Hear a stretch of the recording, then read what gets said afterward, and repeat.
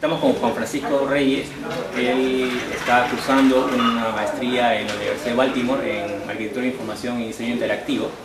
Es un analista de experiencias de usuario y va a hacer un taller aquí en Lima. Eh, ¿Qué tal Juan Francisco? ¿Por qué es importante la usabilidad hoy en día en el mundo tecnológico? Bueno, principalmente el, el, uso que yo le veo es el de que las empresas tienen la posibilidad de, al conocer mejor a sus usuarios, a las personas que van a utilizar la tecnología, de poder diferenciarse de su competencia. Mientras más conozcas a la gente que usa, eh, más posibilidades vas a tener de crear un producto que se adapte a ellos y también de innovar. ¿no? Yo creo que para innovar es importante eh, conocer a, los usuarios, a la gente que está detrás de ¿Y qué tema vas a tocar acá en este taller en, Perú? Eh, bueno, el taller está... Eh, el contenido del taller son dos días. La primera parte es teoría sobre las pruebas de usabilidad. Las pruebas de, las pruebas de usabilidad son unas metodologías, es una metodología para verificar la eficiencia, la satisfacción y la efectividad de un producto, de un producto digital o de un producto físico. Pero en este caso lo voy a orientar a páginas web específicamente. Eh, el segundo día, eh, mientras que el primer día es teórico, el segundo día es completamente práctico. En el segundo día vamos a hacer todo el proceso desde el planeamiento de una prueba de usabilidad, la eh, el reclutamiento de la gente que va, eh, la prueba misma, el análisis de los resultados y eh, la creación de reportes eh, finales de la prueba de Ese Ahora, ese taller está dirigido, aparte de diseñadores y todos aquellos que manifestamos en el ámbito digital, también como a representantes de entidades, ¿no?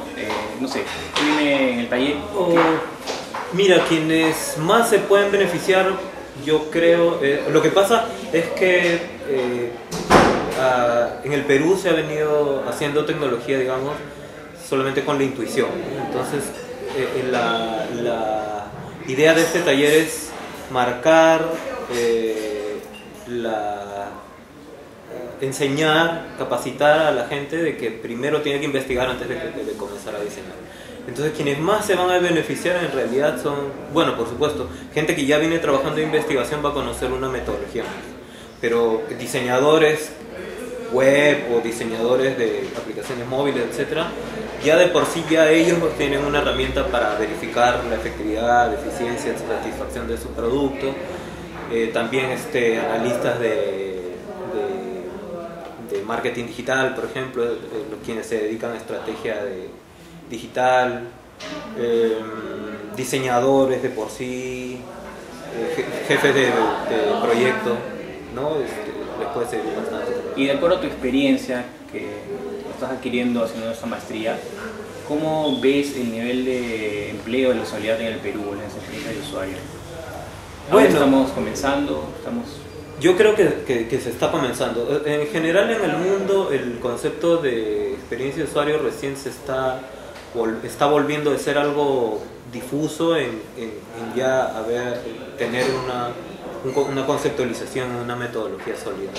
Entonces es lógico que acá en el Perú, digamos que no, no, no haya tenido muy claro. Mucha gente habla de experiencia de usuario, de usabilidad, pero sin haber investigado. ¿no? Entonces la investigación y la usabilidad o el diseño de experiencia de usuario están de la mano. No puedes hacer algo, hasta incluso puedes crear una excelente experiencia de usuario sin investigar, pero no vas a poder verificar qué tanto impacto tiene y poder mejorarla si es que no investigo.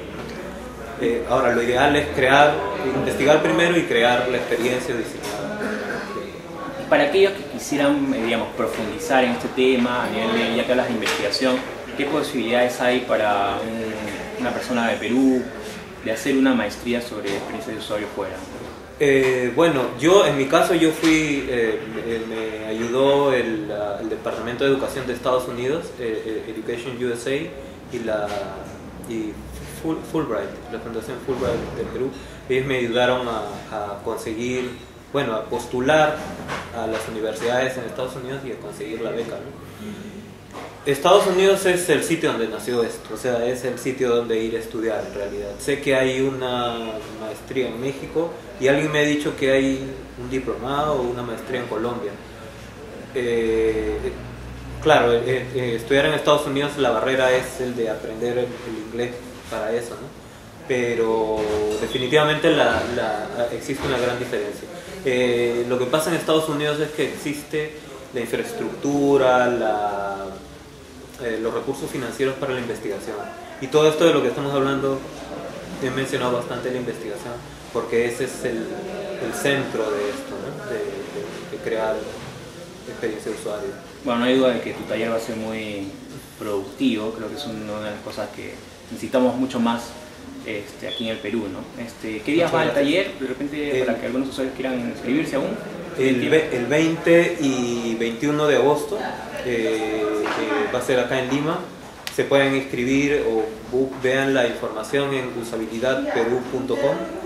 Ahí van a encontrar todo el contenido y un poco el plan que, que- que he preparado para, para el taller. Tú estás dando el taller y además hay un concurso muy interesante, son los objetos difíciles de usar. Sí, el, el objetivo es que la gente identifique objetos que son difíciles de usar, que están en nuestra vida diaria alrededor de nuestro, que pueden ser desde una puerta, algo que te da insatisfacción, que te resulta frustrante de usarlo. Puede ser tu automóvil, una parte de tu automóvil, tu puerta, una cámara, un teléfono, este, la lonchera de tu hijo, ¿Cuál ha sido tu objeto más difícil de usar? Oh, de repente, creo que alguna vez me he encontrado con una, con una, con un aviso, que, que es otra idea también, me- manejando que te dice que, un- que, que te da el mismo, el- al que te quiere llevar al, al mismo sitio, pero mostrándote dos direcciones diferentes. Ahora, los que concursan pueden llevarse algo, ¿verdad? Exactamente, estamos regalando unos polos sobre, sobre el mantra que hemos preparado para, para, para, para, el, para el evento. Bueno, el mantra es usar, útil, usable y deseable, así que estamos regalando estos polos. Ajá. Así que ya saben, quienes seguramente se han encontrado, porque deben haber muchos objetos, los objetos difíciles de usar, manden la foto, este, ya, se pueden llevar los polos, se pueden llevar los polos. Ok, muchas gracias. Te agradezco mucho.